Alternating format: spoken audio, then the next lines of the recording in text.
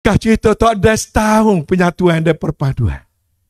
Hanya kerana dia suruh hamba pergi jumpa Muhyiddin, minta dia jadi timbalan Perdana Menteri. Tan Sri Muhyiddin sepasa jawab. Siapa pun orang UMNO boleh jadi timbalan menteri kecuali Zahid Hamidi. Memang hamba lah janji saksi hidup. Tan Sri Muhyiddin kata kamu begitu. Dan hamba pun sapa juga balik. Kepada Tan Zahid. Tak ada harapan dia nak jadi timbalan Perdana Menteri. Tu, bulan tujuh, bulan lapan tahun dua ribu dua puluh. Lepas tu, UMNO dengan PAS sudah bergabung. Tok Guru dengan Zahid, Amal kata Datuk Sita Kiuding, jom buat draft surat. Nak jepuk pula bersatu masuk muafakat nasional. Maka Amal kata Datuk Sita Kiuding, draft surat. Amal wagi ke Zahid, Datuk Sri Takiuddin bawa kepada Tok Guru. Tok Guru saing. Zaid saing. Jepuk Tan Sri Muhyiddin dan bersatu. Masuk. Kerana nak memperkuatkan lagi muafakat nasional sebagai langkah selanjutnya. Lalu Tan Sri Muhyiddin pula jawab juga dalam hitam putih. Amor dengan Datuk Sri Takiuddin. Wak kelik surat. Patutnya malam tu nak bentang. Nak jadikan sambutan terima bersatu sebagai ahli muafakat nasional sempena perayaan setahun muafakat nasional pada 14 hari bulan 9 tahun 2020. Muafakat nasional tu 14 hari bulan 9 2019. Cukup setahun nak sambut perayaan setahun dengan bawa masuk parti bersatu. Tika tu Zahid bui isyarat kamu. Malam nak musyarat. Petang dia panggil. Jangan betul, jangan bawa bersatu masuk. Bapa mau dendahkan cerita ni malam ni. Batai baru ni. Naik Presiden AMNO kata, PAH ni jahat. AMNO pernah kerjasama dengan PAH dia kata. Tetapi AMNO lari, apa ni PAH lari. Meninggalkan muafakat nasional. Maka kamu kena waktu ubik hadis sahih pada malam ni. Yang lari daripada muafakat nasional adalah Presiden AMNO Zahid bin Habidi. Bapa, pada bulan 8, amba boleh beri dengan tarikh, amba boleh beri dengan alamat, amba boleh beri dengan rumah. Di waktu satu malam, selepas mengorek, di sebuah rumah, di jalan dekat dengan jalan Ampai, dia pergi berunding dengan Anthony Luke dan Anwar Ibrahim sejak-sejak. Bulan 8, 2020, Beberapa minggu sebelum pilihan raya Dewan Negeri Sabah. Tapi pilihan raya Negeri Sabah dia nyetak karung. Amor hurang lagi mengeping. Dia duduk babak. Tak saya beri kerjasama kepada bersatu dan juga kawan-kawan di Sabah. Amor tak faham lagi. Selesai pilihan raya di Sabah pada akhir bulan 9. Bulan 10. Anwar Ibrahim menghadap Istana Negara. Bulan 10. 2020. Mereka cerita Anwar Ibrahim pergi menghadap bawa surat Zahid Hamidi saing sokong Anwar sokong DAP jadi kerajaan.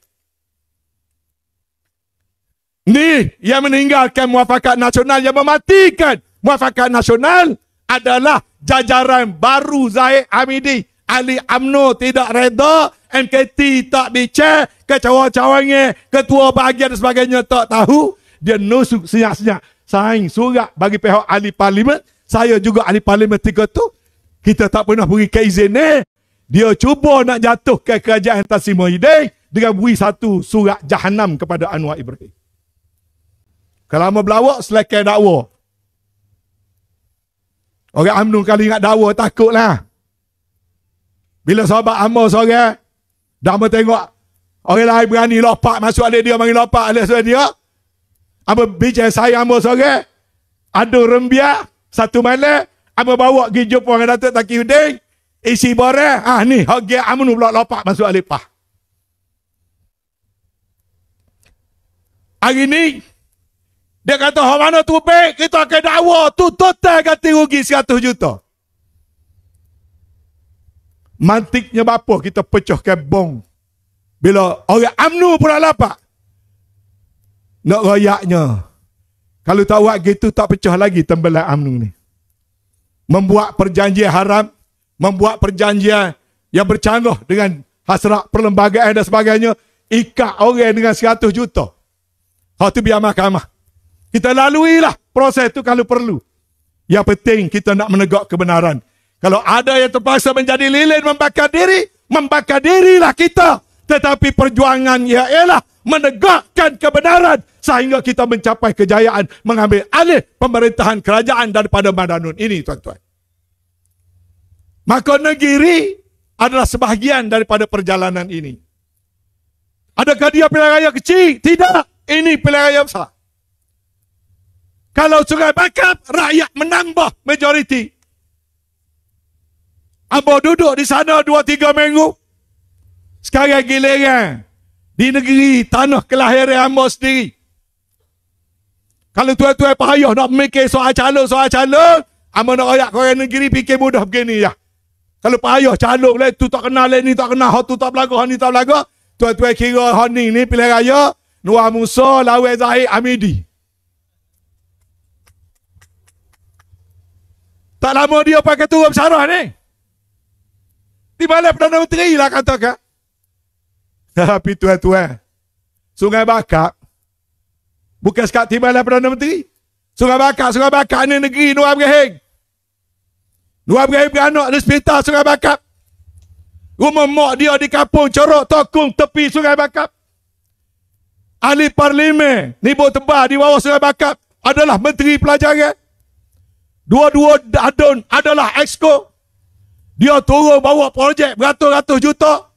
Tiga hari nak ngudi Zahid waktu turun pula beratus-ratus juta. Kau banyak dia waktu turun. Kau banyak Allah adik kakak di Sungai Bakak. Maka sekarang rezeki puak-puak kita. Berkat doa kemulah Tok Guru. Bersiaplah tuan-tuan. Kalau mari berapa-apa ambil. Gaya rezeki adik kakak ni. Segala dewa to daripada Thomas Siko siapalah kepada segala jenis dewa akan turun tak lama. Akan turun dengan segala janji-janji seperti mana pergi tempat lain. Tok Guru kata, Gapa dia? Wigula kaca. Tama-tama musim suruh. Dan musim puluk dia. Wigula kaca. Bui kain pakar. Tahi pakar bulan. Ulang sekali lagi. Bui gula. Kaca. Bui kain. Tahi bakar. Bulan. InsyaAllah. Dan dalam pilihan raya kecil ini juga adalah medan kita menyampaikan pada rakyat mesej mesej kebenaran ataupun mereka akan bawa mesej mesej kepalsuan. Kita tahu kita ada ahli pemakaian ni tuan-tuan macam-macam benda ditekan, ditindas, diugur, tetapi itu anak berjuang. Amba bersukarela waktu parti AMNO duduk alik kerajaan. Amba bersukarela duduk alik pembangkang. Tak ada gobah, tak ada bimbang. Yang penting menegakkan kebenaran. Apalagi dalam sebuah kerajaan yang kita sedang merasa dasar kerajaan yang ada ini. Sebuah kerajaan yang bukan saja tidak menunaikan janji. Kalau kritik kerajaan dalam Facebook, dia tutup akaun Facebook. Kalau kritik menteri, dia menteri ugu. Kata apa ni? Akan mari di rumah. Apa lagi boleh buat? Berkecek dalam parlimen tempat kecek. Dia gantung ni boleh. Dan macam-macam lagi. Ugutan. Tapi adakah kita nak jadi pekak dan bisu?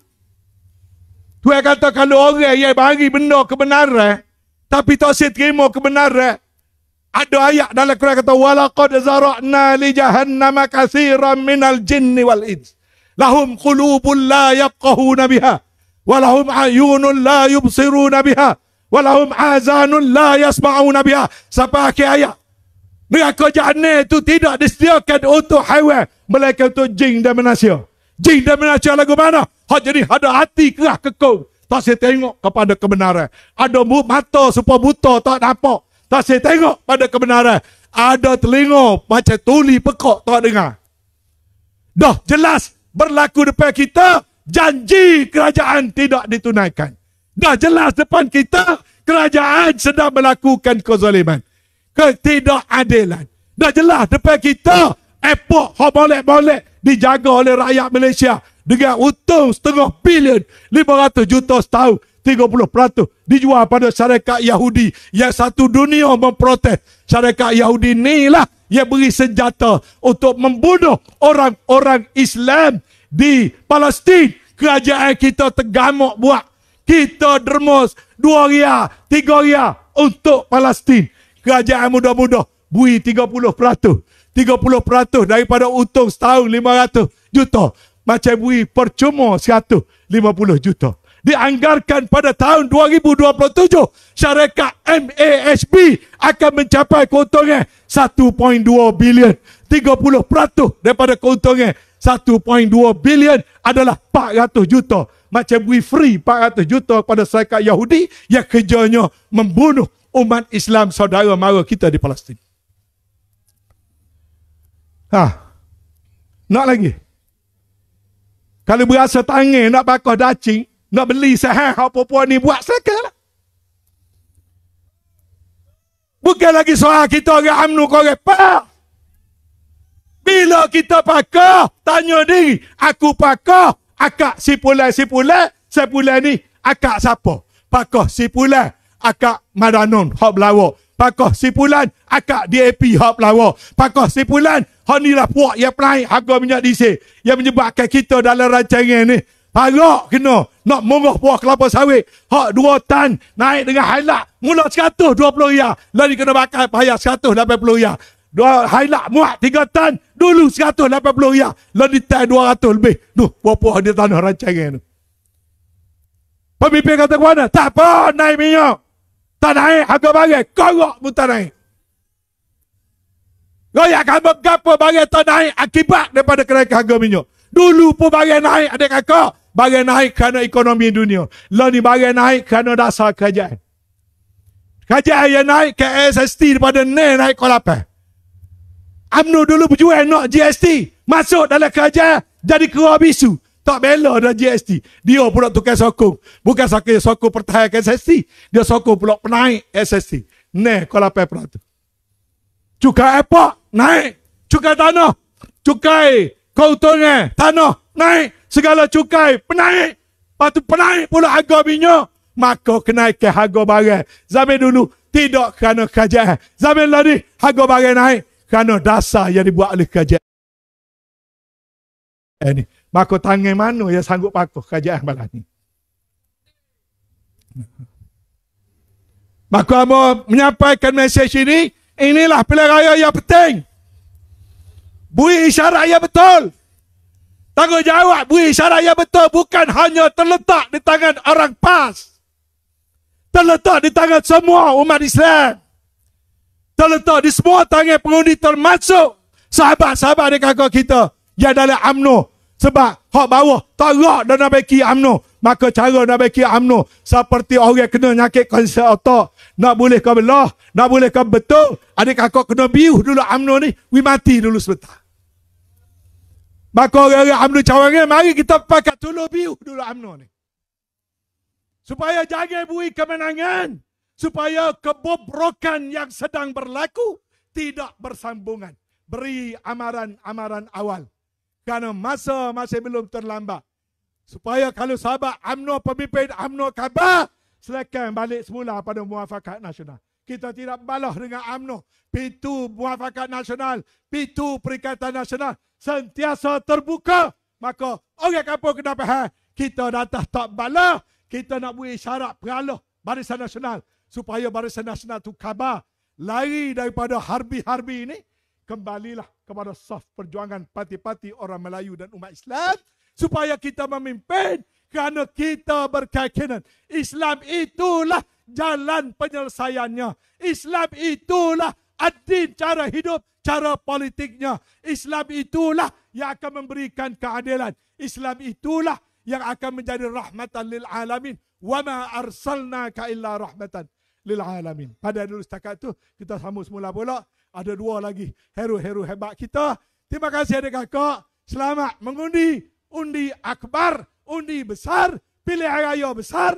Amo beri kerjasama pada amo sebagai pengaruh operasi kecil besar tua muda. Tak kira dalam don mana, kita tubik beramah-ramah memenangkan parti bulan yang menjadi lambang kepada calon yang akan bertanding dalam pilihan raya pada 17 hari bulan. Bermunajatlah pada Allah berpohonlah kepada Allah. Faiza zabta fatawakkal Allah. Mudah-mudahan Allah bersama kita memberikan kepada kita kemenangan kemenangan kita adalah kemenangan pada Islam kemenangan pada perjuangan kemenangan pada adik kakak rakyat orang kampung yang tertindas selama ini. Wabillahi taufiq wal hidayah. Wassalamualaikum warahmatullahi wabarakatuh. Takbir! Takbir! Takbir! Terima kasih. Majlis merakamkan ribuan terima kasih kepada yang ber